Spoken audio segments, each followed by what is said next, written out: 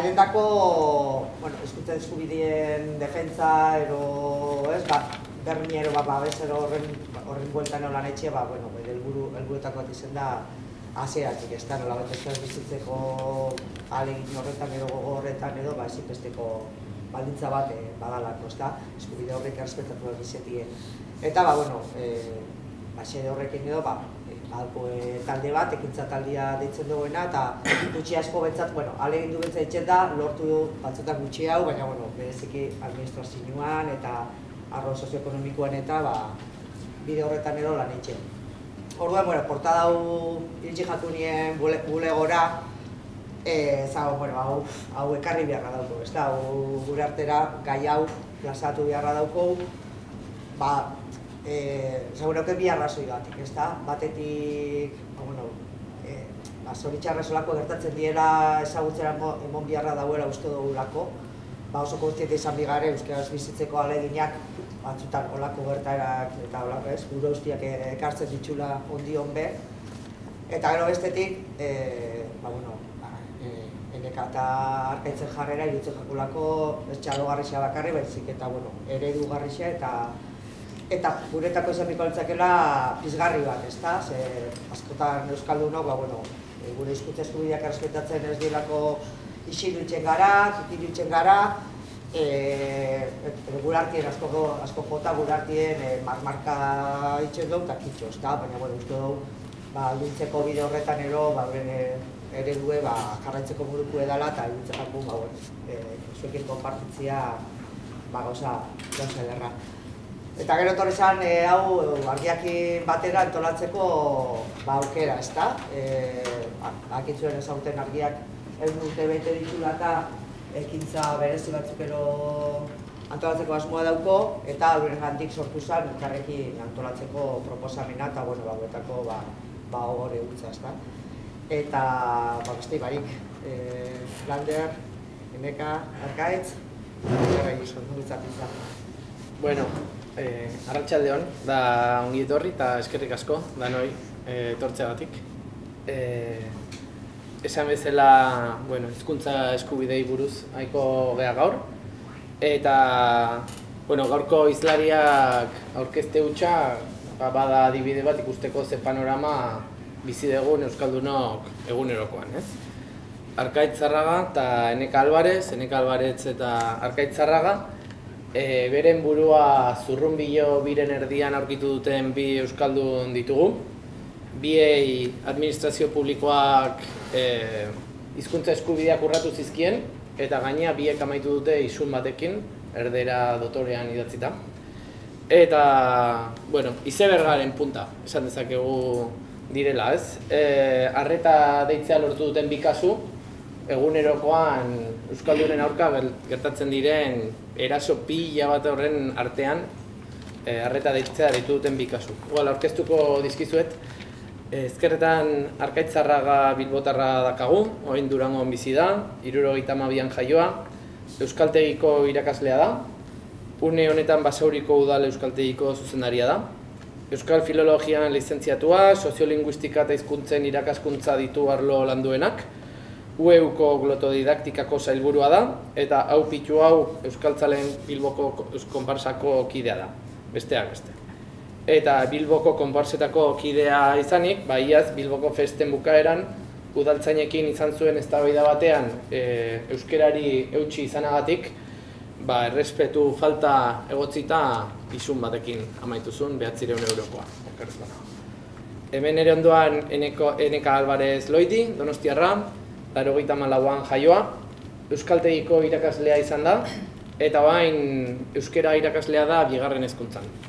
Euskal filologia ikasi du, eta gero soziolinguistika entrebatu da, ernaiko kidea da, baita jai batzordean eta bar, bestea beste. Iazko maiatzean donostin egin zen bizitza dandiena astearen barruan, prentxaurreko agerraldi batean, ertzainen aurrean eh, hizkuntza eskubideak errespetatzeko eskatu zuen, eta isun batekin amaitu du. Eta nabarmentzekoa da, ertzaintzak berak, e, barkamena eskatu zuela publikoki, aitortuz, e, hizkuntza eskubideak urratu zizkiotela. Baina, esan bezala, isun bat iritsi zaio gerora. Eta, bueno, nire burua aurkeztuko dut, e, ni Lander Arbelaiz naiz, e, argiako kazetaria, hain justu enekaren e, hizkuntza gatazka hori harrapatu ninduen lanean ari nintzela, harrapatu ninduen horrek, eta grabatu nuen, zabaldu nuen, albiste bezala, e, uste delako hori dela kazetarion funtzioa, ez, kontatzea gertatzen dana. Eta gaur gaurko zainago epaile batek e, ze erabakiko duen, ea kazetaritza egiteagatik ba, epaitua izango naizen eta espetxe zigor eskaerak daude tarteko eta bar. Izan ere, e, bi ertzainek, berari e, hizkuntza e, eskubideak urratu zizkioten bi ertzain horiek, bideoa hainbeste zabaldu zela ikusita gero, nire aurkako salaketa jarri zuten esanez iraindu inditu dela.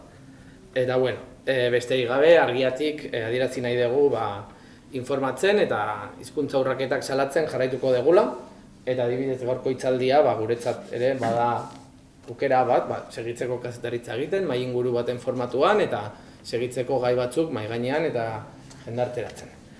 Ordun, bueno, nire lehenengo galdera pixkat ja sartuko gea, e, hortik litzateke. E, azteko, Arkaitz, kontatuko ez duzu e, pixkat zer gertatu zitzaizun, horrekin hasiko gea, eta nola gogoratzen duzun? Bueno, ba, nire kasua izan zen biloko jaien e, amaieran, e, biloko jaiak igandean amaitzen dira, ba, astelenean e, desmuntaia eguna da bilboko jaiak, normala jendeak ezagutzen du larun batetik iganderako zera hori, baina aurreko astea oso aste potentea da bilbon, jende asko da lanean, eta osteko hiru egunak edo desmuntaian ere ez dago hasierako giro hori, baina bueno, badago girotxo bat ere desmontaian, ez da? Eta nik desmontaia maitu gaueko bederatziak, sortziterdiak aldera edo, eta ba, betiko moduan, kotxe zirten nintzen, e, zera, e, jaigunea itxita dago, e, trafiko horik ez dabil, bakarrik ibil gaitezke, ba, banatzaileak, e, udal langileak eta konparsako kide batzuk, txartel berezi batek. Hora nik eguneroko moduan egin nuen, e, irten e, txosnagunetik, eta zebrabide baten gainetik ezkerretara jo, eta bueno, udaletxerantz esautzen baduzue, ba, ni jau pitxu jau egoten lekuan, udaletxerantz atera nintzen, eta egoten dira udaltzainak ba, e, trafikoa mosten e, kanpotik barrura inorez hartzeko. Eta lako batean, ba, ni paso emango zietelakoan, puk, gelditzeko esan zidan, e, udaltzen batek, eta eta esan zidan, tu has visto lo que has hecho, eta ni, ez du oso ondo lertzen, erakutsi nion txartea zen, bai, konpartsak naiz, eta ¿Has visto que has pasado por encima de un paso de cebra?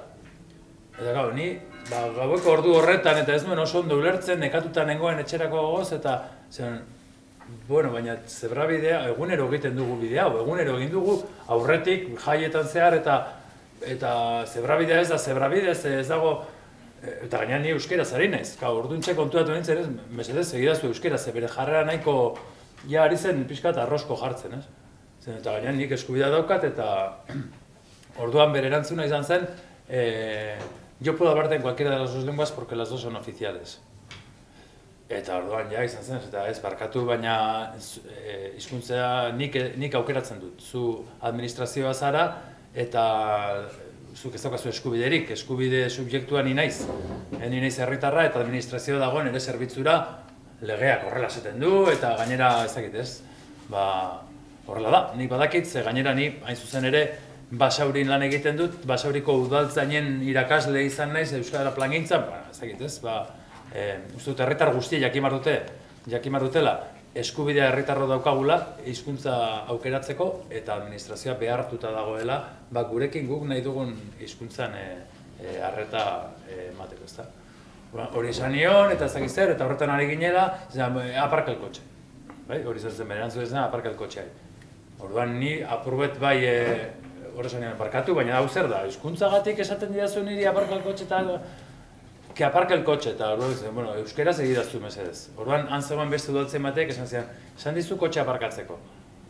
Bueno, baina, sartu nintzen, aparkatu nuen, eta e, bueno, oso modu txarrean hasi zen bera, eta venga, dame los papeles, los papeles, no sé eta carnet, el carnet de conducir, el carnet de identidad, eh, los seguro, el seguro del coche, zen, bueno, karneta gidatzeko dauka, beste ez nuen topatzen, eta eta gainera eta osea seguruaren reciboa ja ez da eraman behar, ez daukat, eh ez dizut eman behar horita.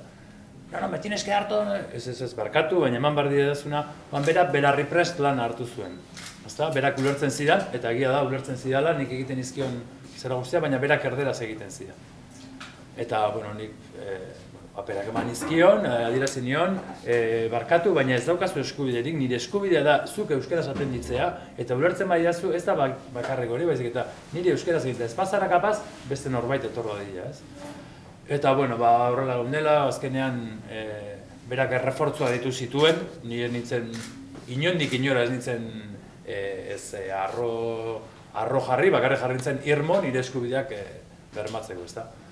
E, bi maromo jarri zitzaizkidan aurrean, bueno, ja nahiko egoera violentoa zen, eta gainera, enekak ez bezala nik ez neukan inorre inguruan, zauden sei udaltzain eta ni, eta ez, neuka, ez neukan e, testigurik, ez da. Orduan, udaltzainak esan zidan, bueno, que sepas que te voy a poner dos denuncias, una por la de tráfico y otra por falta de respeto a la autoridad.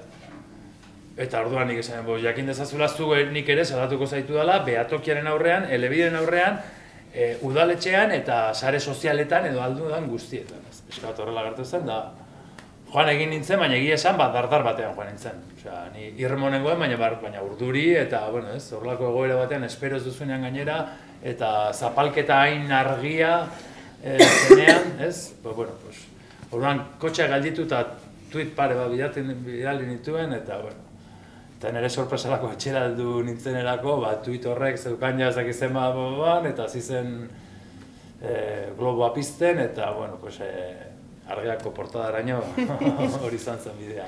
Eta ze ondorio atera dezu, gertatu zenetik? Bueno, ondorio asko atera ditut. Egi esan, e, batetik, ba, harritu nau e, sentituen alkartasuna.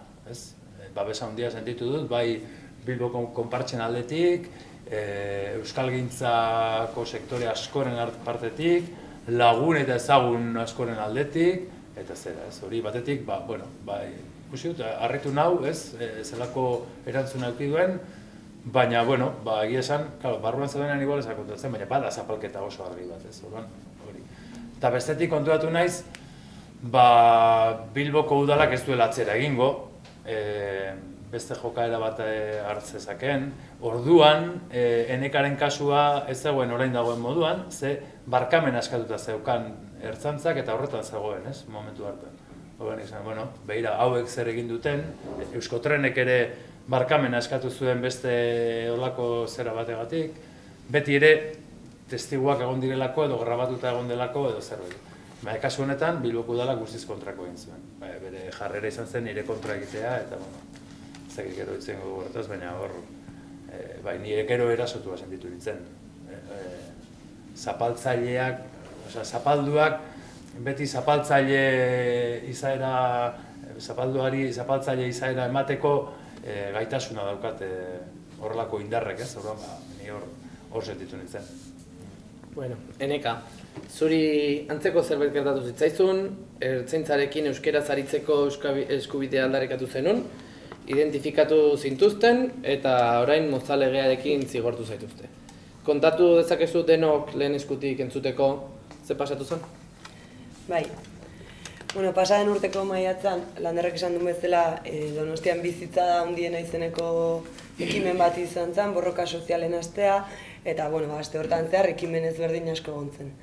Egoietako bat izan zen, bueno, turismo eredua salatzeko e, eta horren ondorioak salatzeko ernaik e, bueno, prentsa horreko bat burutu zuen, eta, bueno, ba, dela, ba, batean e, ertzantza gertu zen, eta, bueno, ba, arduradun bat behar zutela, identifikatzeko norbait, eta, bueno, nahiko giro lasaian geundela, bueno, azpimarratu behar da, jende asko izan zela identifikatua, hau da, lehenengo puntu bezala, e, arduradun gisa identifikatu zen jendea, Horrez gain, e, grabatzen ari zen jende guztia identifikatu zuten, lander, e, beste hainbat e, edabidetako jendea, grabatzen ari zen jendea. Bueno, beraz, ni identifikatu aurretik identifikazio mordoa egoten da, eta arduraduna bera ere identifikatu egiten da. E, bueno, arratxal, bueno, hor jarraitzen dugu, lasai, nahiko giro lasaian, baina alako batean, e, bueno, nortasuna giriak itzultzen hasi ziren jendeari, bai grabatzen ari zirenei, bai beraien burua arduradun gisa identifikatu zutenei, bueno, jende guztiari.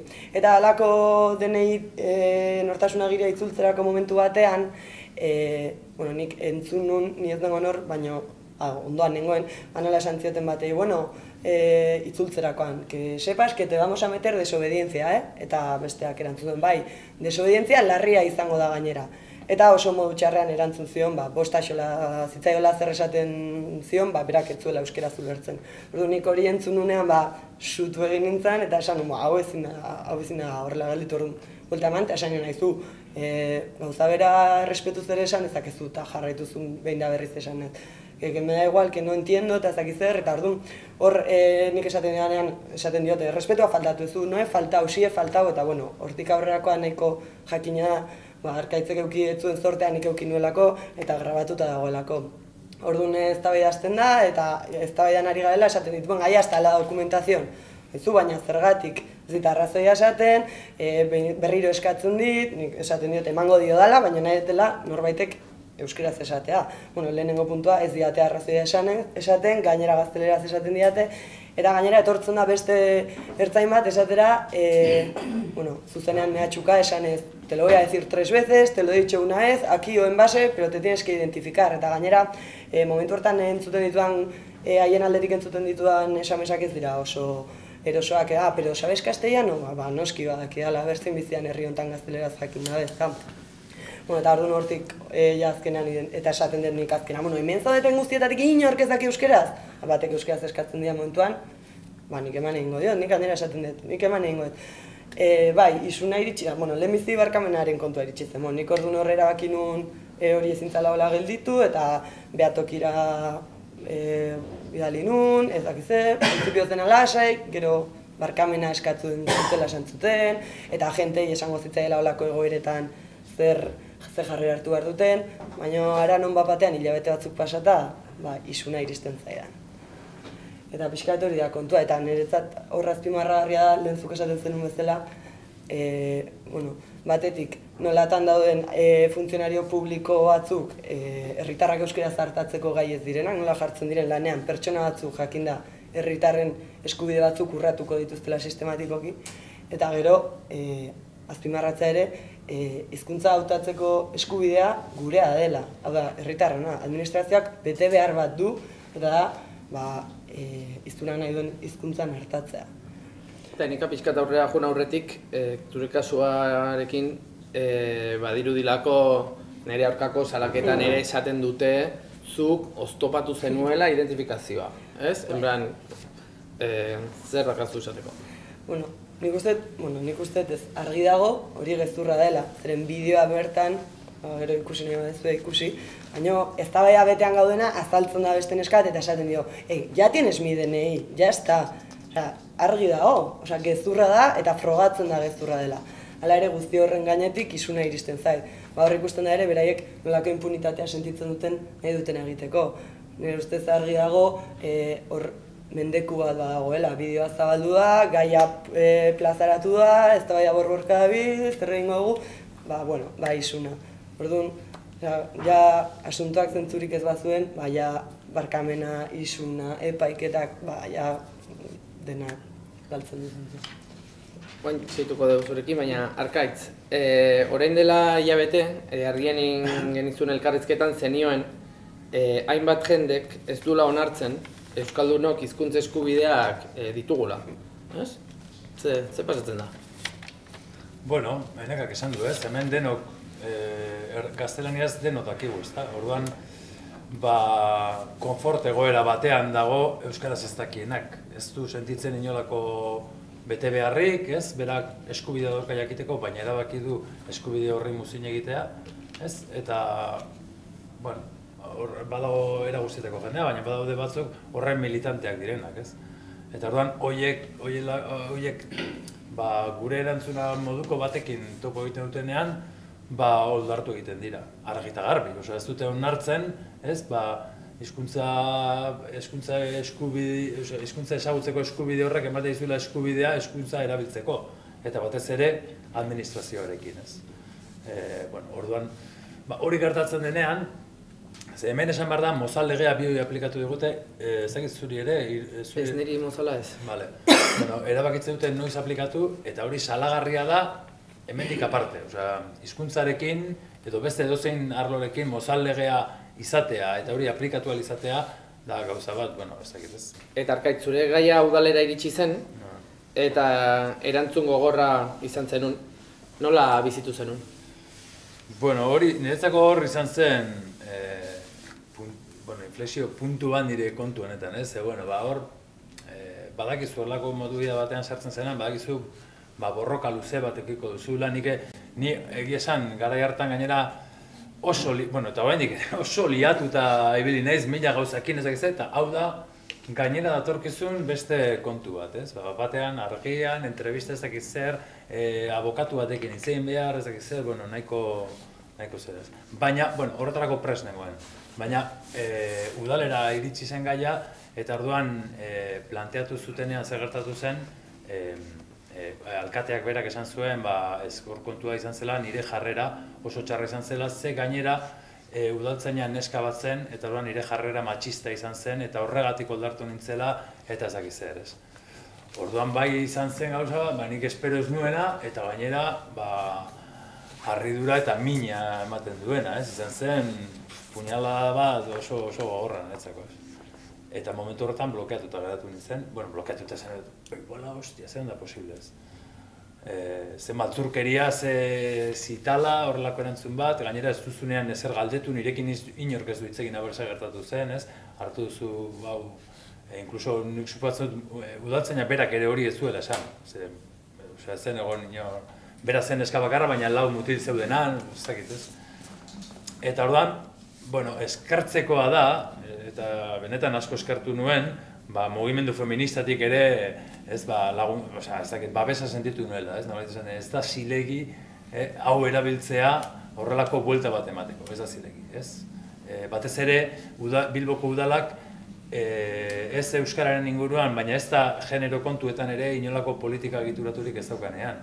E, aurreko egunean, e, e, zera, emakume bat hil zuten Bilbon eta ez dagoen inolako protokolorik, e, ez, etorkin emakume bat hil zuten eta horrez dagoen ez ez orduan ez zuek niri hau leporatzea, ez, ba, ba bueno, ez, ba, krudela da, krudela, egi esan hor izan zen momentu, baina, bueno, ba, gero euskal gintzatik eta bai feminismotik ere, ba, ba sentitu nuen, eta, bueno, ez dut hori hortxe geratu dela, ez, baina, Eneka, e, zure kasua zabaldu zanean asko, e, saretan eta bar, e, eskubideen behatokiak salaketa jarri zuen, ertzaintzak barkamena eskatu zuen ofizialki, inkluso esaldi baten esaten zuen, bi agente horien izenean ere berariaz eskatu digute barkamena eskatzeko, eta bar, ez, eta dokumentu baten hori zegon, gero handik hilabete batzutara nire aurkako salaketan jartzen dute bi agenteek, el acusado sigue mintiendo porque dice que hemos pedido perdón y eso no es verdad.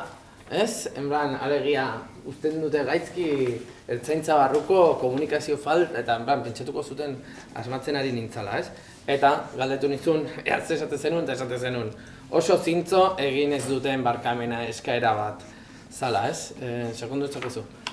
Bai, bueno, nik esaten nuen zen oso zintzatzutela egin, ba, lehen esan deten kontuagatik, ezin dalako zerbaiten inguruan barkamena eskatu, eta gero olako gauzak esan, gero isun bat iritsi, eta ez dauka niretzat sinesgarritasunik, barkamen horrek, txurak ere irutzen Eta gero, e, nire eskubideak urratu zituzten, eta gainera gezur bat leporatzen didate.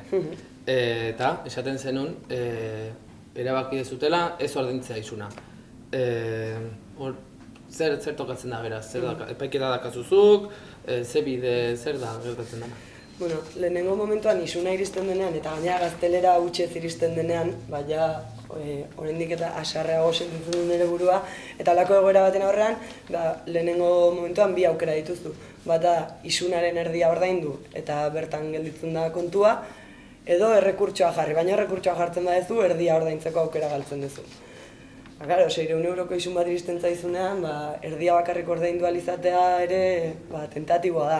Baina esan, esan genuen edo, bueno, niri irutzen zitzaidan azan, erdia ordainduta hori hortxe gelditzen zela. Eta kasuak bazuela nahiko indar e, salaketa irmo bat iteko. Orduan, printzipioz, e, rekurtsoa jarrita dago ikusiko da zer gertatzen den, baina batez ere erabakia izan zen ez ordaintzekoa, salaketa lan bat itekoa, eta guk hori e, ez, ez genuelako e, onartzen leporatzen zitzaidan agezurra da, frogatuta dago, eta gainera eskubideak urratuak izan dira. E, isuna ez da ez dut horren Eta epeketa bat edukiko zu? Errekurtsoa jarrita dago eta zai gaude. Bueno, ba, jake aedeko lagunek proposatu ziguten maien guru hau itea, zeren nik ere berez, elkarrizketa egin nien eta nire buruan ere, hor, jazta, ez kapitulotxo hau e, bideratuta genekan.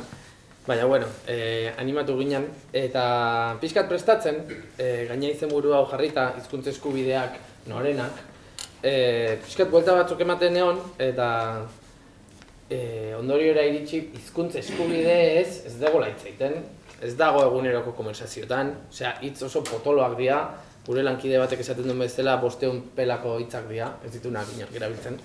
Eta ez dakit inkluso badakizkigun gure hizkuntza eskubideak, edo eskoletan erakusten dian, edo zu zitzaidan ez ezagutza ondi xamar bat badakigula existitzen direla, baina oso ondo zer dan ez dakigula, ez? Eta orduan, e, pixkat behiratzen egon, ez da minutu baten aprotxatuko ez kokatzeko hemen juntatu gehala, e, zer, zer den mobida hori, ez? E, izkuntza eskubideen deklarazio universala, eh?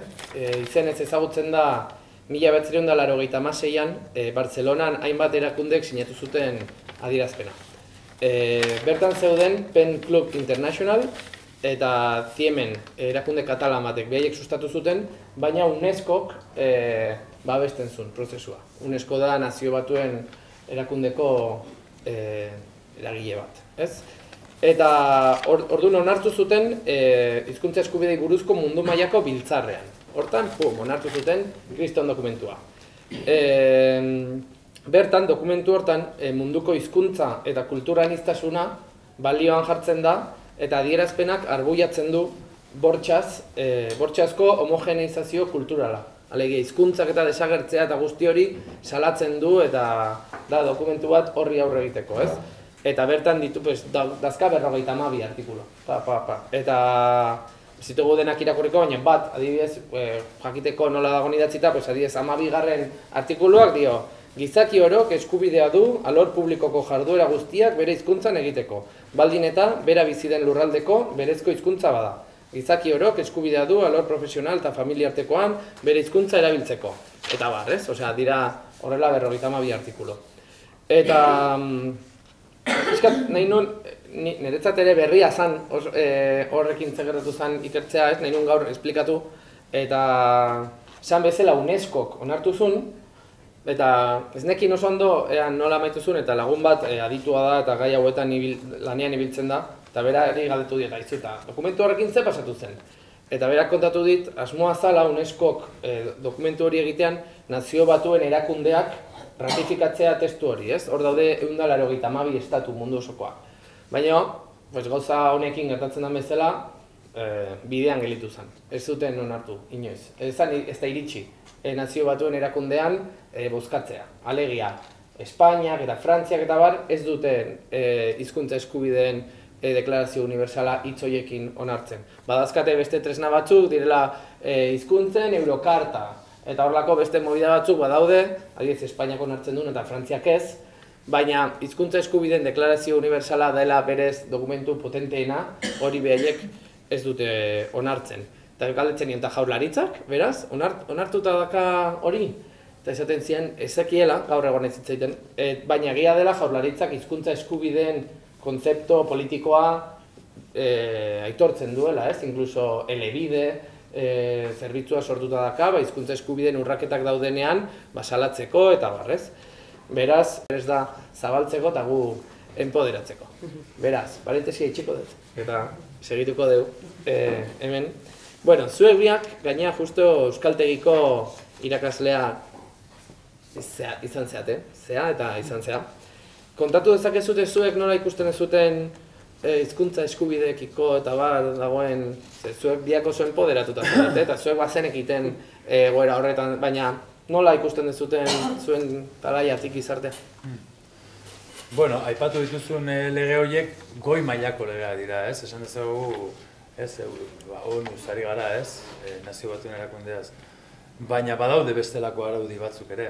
E, esan dut, e, hemen badaukagu amojoramendua eta Euskararen legea laro bikoa, eta horrek berez ja bermatzen dizkigu e, hizkuntza eskubide batzuk. Ez? Egia da, ba, horiek sortu zirela, sortu zirenean, eta sortu ziren moduan, eta egunerak eta behar ikaragarri daukatela, ez, argi dago.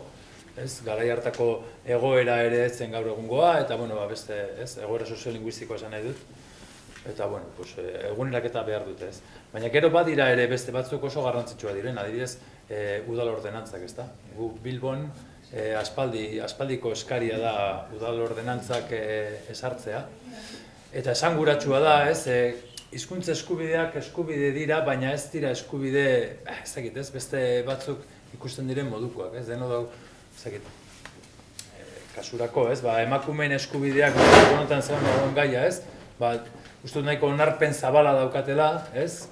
Eta, eta bueno, momentu honetan inkluso indar e, aldarrekatzaile bat potentea dago, eta uste dut e, irabazi direla pauso batzuk atzera ezina direnak, ez? Baina hizkuntzen kontuarekin apurre likidoago, likidoago geratzen da, ez? Ez da, ez da oso... Horan, udal ordenantzak, e, adibidez, Bilbon ez egoteak, ekarri dit niri arazo hau. Ze nik udal ordenantza batzuk egon balira, eukiko nuken zeri heldu esateko beparkatu ordenantza hau ez ara betetzen ari. Eta orduan, ez? Berez ez da betetzen ari e, larogeta biko legea ere, ez? Baina, bueno, bada beste helduleku bat, e, importante dena, da nolabait ere normatibizatzen duena hizkuntza e, e, eskubidoiek bermatuko dela. Adibidez, e, edozein, e, e, ordenantza batean onartzen bada edozein herritarrek eskubide aukiko duela, edozein jarduera euskeraz jasotzeko, ba, behar bada e, itzupen zerbitzu batzuk jarri beharko dira gauza batzuterako, edo baliabide batzuk, edo ez dakit, ez? Edo minimo batzuk esarriko dira magun zinemarako, edo bueno, dena delakorako, ez? Eban, importantea dira horiek ere, eta askotan, edo, edo edozein plangintzatan, edozein enpresatan, edozein e, taldetan, ez? E, edozein elkartetan, hizkuntzaren kontua arautzea, arautzea edo bueno, edo jo, jokal lege batzuk, jokatzeko lege batzuk jartzeak, ba, batzuten ematen du, ez, e, imposizio kontu bat dagoela, ez, beti ematen du impositzen dena dela, ez, e, legeak eskatzen dituenak edo arauak, ez, eta ez da horrela, da, gutxieneko bat bermatzeko modu bat delako, eta gaur egun behar beharrezkoa da, ez. Hora, bueno, pues, nik uste hor, ikusi behar dugula, gauden lekuetan, ze araudi jar daiteken, arauak ez dira hizkuntz plangintza baten e, e, zerarik e, tresnarik importanteenak, baina importantea dira. Ez, oran, hori, argi utzi gara, eskubiden bermea arauen bidez egiten dugu beste arlo askotan ere, ez? Zaratarik ez egoteko beko tabernan, moizek orduetan, e, araudi badago, ez? Eta nire eskubide lo egiteko eskubidea bermatzen da horren bitartez. Ba, eskuntza eskubideak ere bai, ez? Horrekin lotuta, oskatu, eh? Donostiak e, udal ordenantza pila baditu, eta badu euskararen udal ordenantza ere udaltzaingoak badu sebil bat ukom izena duna eta hoiek arduratzen dira aztertzeaz, ba, e, aparkalekuak zaborra soinua e, gauza guztiak, baino kasualidadez Euskaren udal ordenantza ez dute ez dute jarraipenik egiten. Orduan hor ere e, ordenantzarena beharrezkoa da, baino ordenantzaz gain neurri zuzentzaileak ere behar dira. Bestela hankamuz gain. Horrekin lotuta adibidez eta e, bueno, elkarrezketan ere horrela esan nuen, kasu honetan adibidez, ez? E, guk jaso dugu izuna. Ez? E, nire kasuan behintzat, e, edo zure kasuan ere, udaltzainak jaso izan balu e, izuna, ez? Eta hori ez da sekula pasatu, ez? Baina udaltzainak izun bat jaso izan balu e, niri hizkuntza eskubideak ez bermatze harren, edo inposatze harren, ez? Erderaren erabilera hori ezak ez, igual gauzak aldatzen hasiko lirateke, ez? Baina isuna gu jasotzen dugu. Eta gaina gu demostratu behar dugu, ni demostratu behar dut, enintzela arrotu, enuela e, insultatu, enuela ezak zer, ez? Eta e, ez da kontrakorik gertatzen, ez? Ordan, ba, ba, bueno, barkamen eskalari bat, e, bakar batekin, hortxe zanjatu nahi zuten zure kontua, adibidez, ez? Eta, ez ez, da, benetan, ba, isunak, e, isuna kartzela, ba, ez egu inori gustatzen, eta ni kartzele gabeko herri bat nahi nuke, baina baldin badaude, danontzako izan daitezela, ez, bitxienik hori. Eta arkaitzuk, e, bizkaiko hitzan eman zenun elkarrezketa bat, eta bertan esaten zenun, euskeraz bizi nahi izatea, gatazka iturri, da, gaur egun. E, 2008ko Euskal Herri honetan Euskaldunak, e, izun bat jasotzeko aukera gehiago daka?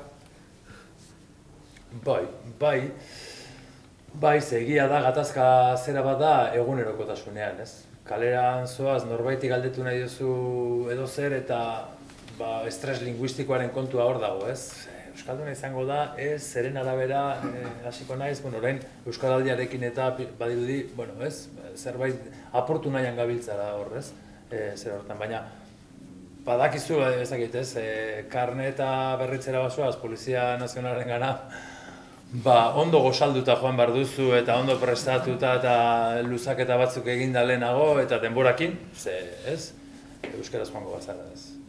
Eta ni udaltzainekin oso argi daukat beti egingo dudala euskeraz edo udal zerekin, baina bueno, gorako beste edo beste mota bateko administrazioekin edo ezakit ni beste e, epaiketaren batean ere, ba, nahiago izan dut erderaz egin, ze, horren esku nago, ez? Eta joka handako dana asko da, ez?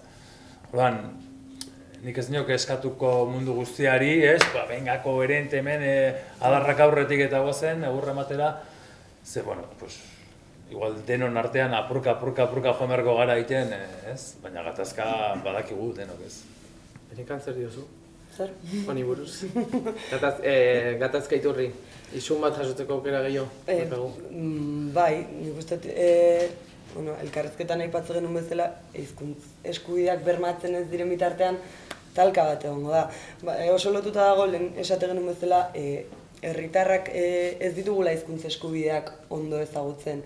Eta ordu horrek ere, ba, badakar alako egoera tensoetan oso ondo nunko katu ez jakitan, eri gertatu zait inguruko inguruko jende asko esan dit, ah, baina, baina benetan daukagu eskubidea ertzantzarekin euskera zaritzeko? Ba, nik ez dut uste e, horren ardura ez da pertsona horrena, eh? da da, bai lanketa bat egin dalako eskubidea, zein eskubidea ditu jakiteko, gero beste alde batetik eskubideak ez urratzeko.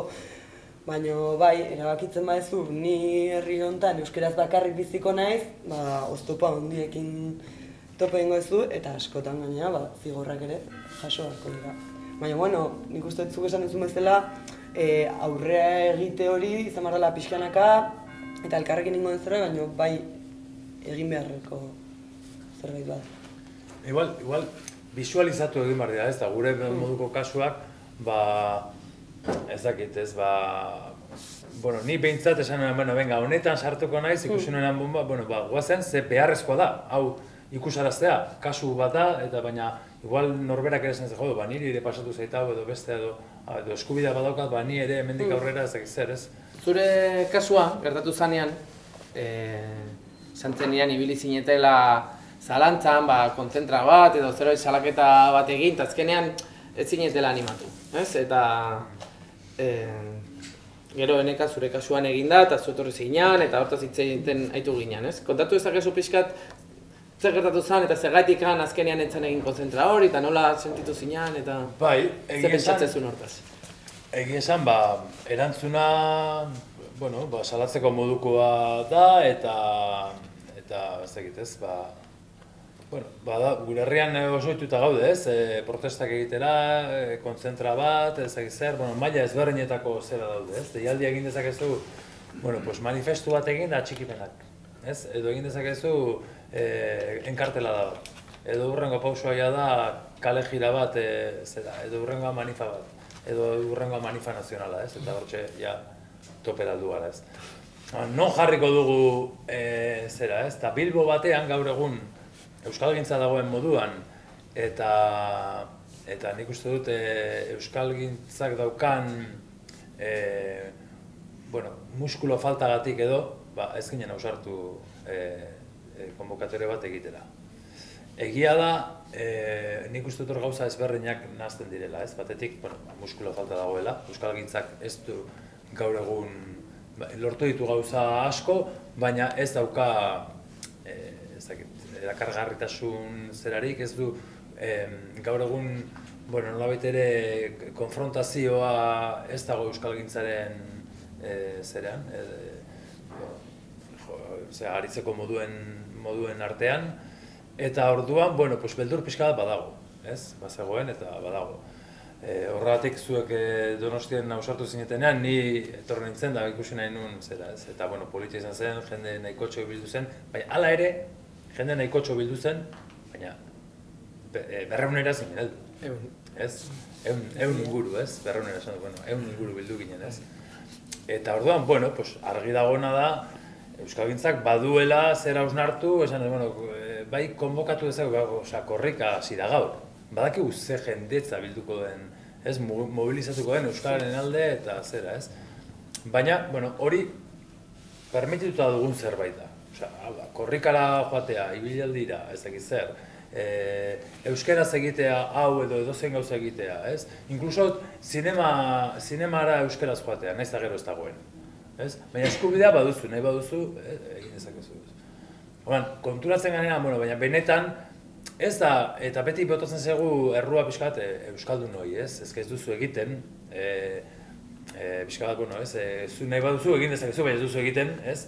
Orduan, norbanakoaren gain jausten da zera, baina benetan ez gara konturatzen mikroeraso asko dauzkagula, ez? E, eramaten gaituztena benetan pa, pauso handiagoak ez ematera. Ez, Osea, hori daukagu, orduan nolabait ere gutxi egitasun konpleju bat badaukagu. Eta uste dut horri nola edo ala buelta pixka bat eman behar diogula. Ez, adibidez, e, momentu bat, eh? behatokian eta elebiden oso oso salaketa gutxi daude.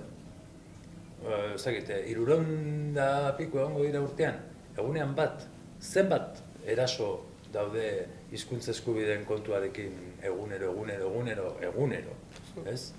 Ba, konturatuko bagina, begiratuko bagenu, a ber, eh, aztertu pixka zure egunerokotasunean, non dituzu zailtasunak, ez? Edo zema gauza etortzen zaizkizu erderaz, ez? Edo, bueno, pues, Eta enek, itxoin, barkatu itxoina, galde, galderak amaidan, barkatu.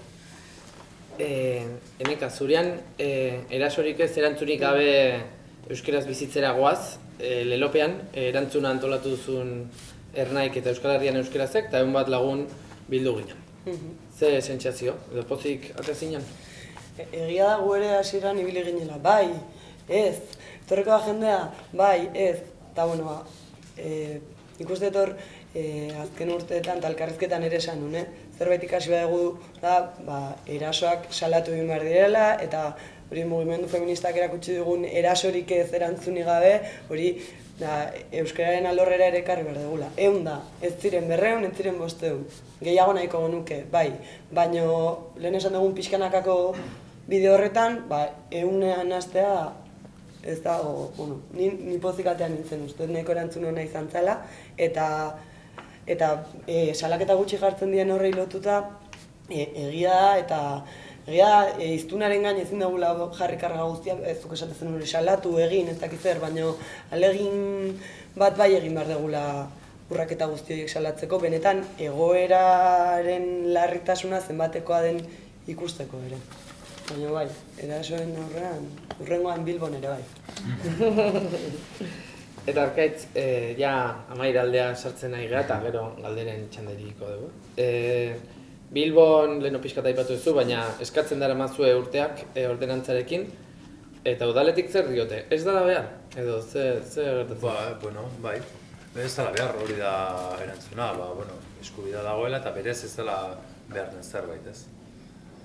Hori erdaldun, erdadunek esatu ez? Edo, edo euskara modu oso folklorikoan hartzen duen jendeak, ez? Baina benetan, e, gainerazke ez jakintasunetik e, egiten dute, ez? Linguistikaren inguruko ezagutza minimoa jakingo ba, e, izango balute, ez, edo, edo, edo asesore pila bat dauzkate, horretan ere pixka bat jantziko balira, jakingo lukete, bueno, badela, e, pla, edozein plangintzatan, edozein normalizazio planetan, e, aurrera atera berden zerbait, ez. Bilboko udalak atera zuen dokumentu bat orain dela lau bost urte, Euskararen Bilbo. Eta oso dokumento punteroa zen, eta nola esan zuen, bueno, e, Bilbo Euskalduna izan behar du, eta gainera Euskarak Bilbo behar du. Ze, egia da, ba, Bilbo dela hemen hiri kosmopolita horrela edo ezak zer, ez? Eta hor, e, normalean edozein teoria soziolinguistikak esaten du ba, berrikuntzak eta zera eta joerak ba, e, hirigunetatik sortzen direla eta gero e, zabaltzen direla e, bueno, beste esparrutara ez. Hemen pixka gehiago igual e, Euskalgintza historikoki edo ba, gune euskaldunetan egonda eta babeslekuak edo arnasguneak babeste aldera eta eta bueno, ba, igual pixka bat beste hori ere beharko litzateke ez, bilbotik ere etortzeko. Eta Euskaldunoi, e, euskera tarteko egiten zaizkigun erasoek, e, gaitzespen handia jasotzen dute e, Euskaldunen artean. Eta nire ondorio personala da Euskal Herri osoan antolatu gabeko milaka eta milaka euskaltzale daudela, ez? Pues euskaraldian ikusten duzu zema jende parte hartzen duen eta zema jende dena obizi eta ez eta hor dago kriston mm, masa e, antolatu gabe, ez? Bakoitza bere txetik eta bere egunerokoan. Eta, bueno, euskaraldia pasa berri dugu, milaka euskaldunek parte hartu dute, eta Twitterren Martin Kitxo kastari batek ironia aztio emezela, e, euskaraldia pasa da eta baina hasi da izunaldia ez? Eta lenizioen galdetu benik azuri lehenengo, ea nola ikusten ez zuten mugimendu euskaltzalearen borroka, gaur egun. Bueno, nik uste e, lan handia egin dela ezagutzaren alorrean, e, begira da urte asko atzera botako bagenu, bai irakaskuntzan helduen euskalduntzean, bueno, ezagupenan aldetik, e, aurrera pauso handiak india. Zer gertatzen da, e, azkeneko datuguek erakuste dutela erabilera ere bera doala gazten artean adibidez. Orduan hor, e, zerbaitek utxe egiten du da, e, ez da gora doa, baina erabilera bera. E, hor, e, nik uste timar dela benetan analizi oso osakon bat, eseri, ondo pentsatu, oain esan ez bigarren ezkuntzako irakasle.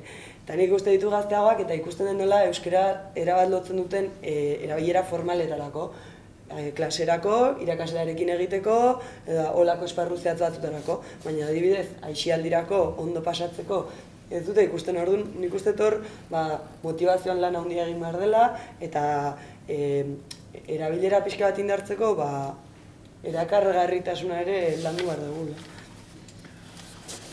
Nik esango nuke, e, beste arlo batzuetan ere, osea, Euskal,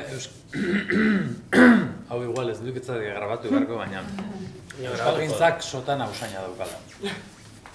Bai, ez dakit titularra. baina Euskal Gintzak badu sotan hausain bat, eta eta adibidez, em, nik askotan esan dut ez, gure baitan denok daukagu filologo bat, eta berau akatzen saiatu behar gara. Ez, oran, eh, adibidez gazteen kasuan, e, zenbat aldiz entzuten dugu e, ez dutela e, ondo hitz egiten, ez dela zuzena, edo Euskaldun berriei zenbat kostatzen zaie e, Euskara zaritzea e, zera, batua e, soinua daukatelako, ez, edo Euskaldun berri izango direlako beti, edo, ez, eta hori ez da horrela esaten, hori horrela esaten da, e, bueno, nik iratzen nire artikulu bat e, oso polemikoa izan zen, umea txisatu eginda, pardela aldatu diot eske txisatu eginda e, umea txisatu egin da, ah, eskerrik. Zer min egiten digun eskerrik horrek, ez?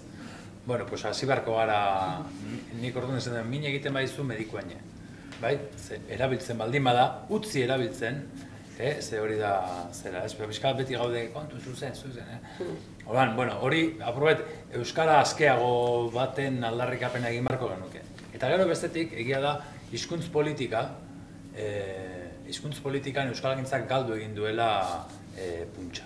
Zeratik, e, Eusko Jaurlaritzak e, oso ondo egin du hizkuntz perfiletara bideratu e, eskubideen berme hori. Hau da, guk egingo duguna da e, perfil linguistiko batzuk ezarri lanpostuetara eta horrela bermatuko dugu Euskaldunen hizkuntza eskubideak. Eta argi dago hori ez dela bidea. Osea, hori ez dela bidea. Gaur egun e, Euskaltegi hitza entzuten duzunean, nor nori nor, e, asperdura, ordu pila bat, ez dakiz zer, idazlana, ez dakiz zer, baina ez horrekin lotzen dugu, orduan. E, Euskara horrekin lotzen dugunean, dugun bitartean, atzera egingo dugu, ez. Ba, hor asmatu behar dugu beste, beste zerbait, eta hizkuntza eskubideak beste e, parametro batzuetan ezarri, igual hizkuntza eskubideak nik esango nuke e, inkluso arindu egin daitezkela, ez da beharrezkoa e, den dena ondo egitea, eta adibidez, administrazioan lan egiteko, administrazioan hizkuntz plangintza egokiak baleude, naiz eta ega mailaraino ez heldu, euskeraz funtzionatuko duzunez eta trebatzaile bat edukiko duzu laguntzeko zure lan konkretu hori euskaraz egiteko, hmm.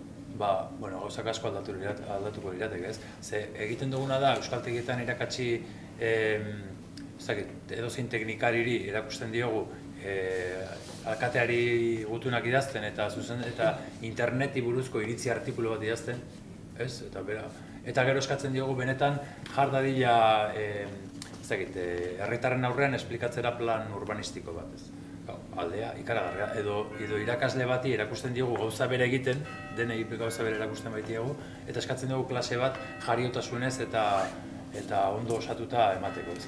Oan, hizkuntz politikari best, buelta bat eman behar zaio, baina, baina nahiko sakona. Eta Euskal Gintzak ere ikuspegi hori hartu beharko luke. Ega, eta nik ja gidoi ezkampo, eh, adibidez, pues, Euskaraldia eta bat pasatu da. Eh, askorako eman du. Eh, jende pila bat antolatu da, instituzioak, herri mugimenduak, dena, denetarik egon da.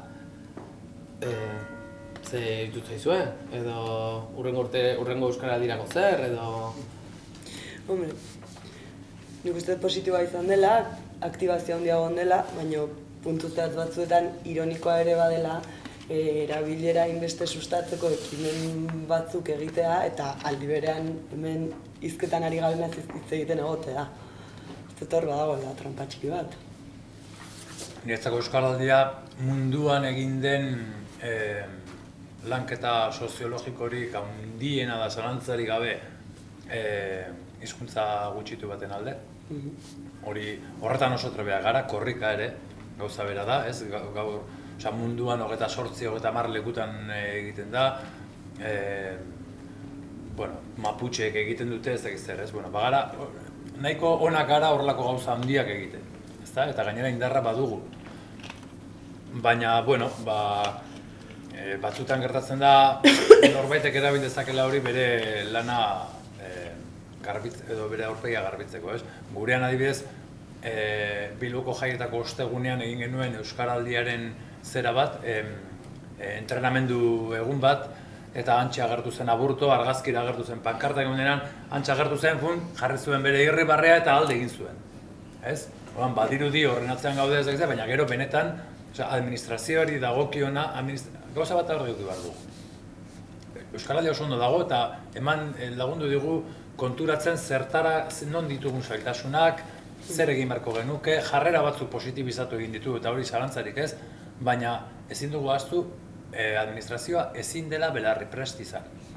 Ez, ematen du, bueno, belarri prest naiz eta horrekin nahiko ez ez ez administrazioa hau bizia izan behar du. Eta plangintza gehien gehienetan jartzen du gainera lehenengo hitza euskeraz. Ez? Ban, hori ez dute betetzen. Ez? Eta orduan gero euskaraldian egotea eta txapa jartzea, ba, ez, errez samarra da, ez? Eh, gainera ez dago gero jarrepenik. Eta ja, azken galdera biei, e, Euskalgintzaren aro berri bat e, abiatzen ari dela, esaten du e, hainbat e, lekutan irakurri izan dugu, aro berri honetarako instituzioei zer eskatuko diego? Ba, bueno, ni uste e, normalizazioa bidean bi hankak izango dira beharrezko batetik e, instituzioei eskatu beharko dioguna eta bestetik ere erregintzak egin beharko duena biak behar ditu. E, instituzioiz eskatuko diogun, ba, nik uste hor dagoela, zuk lehen esaten zenun, e, Euskal Gintza banatuta goen guzti hori elkartu eta plangintza serio eta zehatz bat egiteko momentua izango dela. Zehazki zen neurri izango diren, ba ezakik, baino e, batetik e, hizkuntza eskubideak bermatzea, erabilerak gora egiteko benetako hizkuntza politika fundamentuzko bat garatzea, uste gauza asko eskatu daitezke. Bai, bueno, azteko eta jake administrazioa baliabideak eskatu behar dira. Hmm. Ba, hau ezin da egin lausosekin.